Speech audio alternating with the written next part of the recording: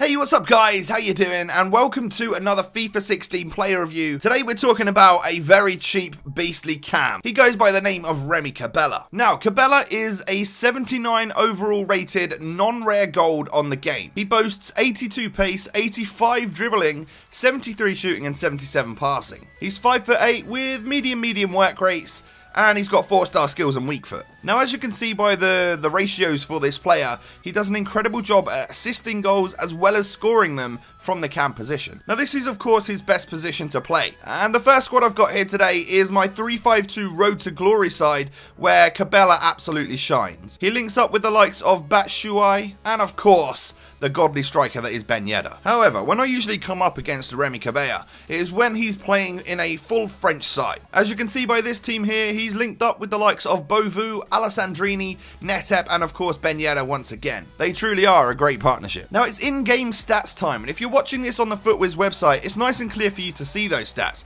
However, if you're watching on YouTube, click that first link in the description to get to the player profile page for Cabella. Now there are three stats which really stand out for me for this player, uh, and those would be his 89 agility, 84 balance, and 86 dribbling. Those are some crazy in-game stats to have for such a low rated player. Now when you get in game with Cabella, you'll notice that his dribbling just seems off the charts. And that's the best bit about him. He's got this great dribbling combined with amazing pace, 4 star skill moves, and overall he's just got this finesse which a lot of players don't have. He seems to glide past defences, uh, opening himself up for lots of goal scoring opportunities. There are two notable downfalls about this player however, and those would be his strength and his shot power. His strength is only 53 and his shot power and long shots and things of that nature nature don't feel that amazing. I would most definitely suggest sticking to the finesse shot from just outside the area, if not inside the box. Overall, I've had a huge amount of success with Remy Cabella, especially when you partner him up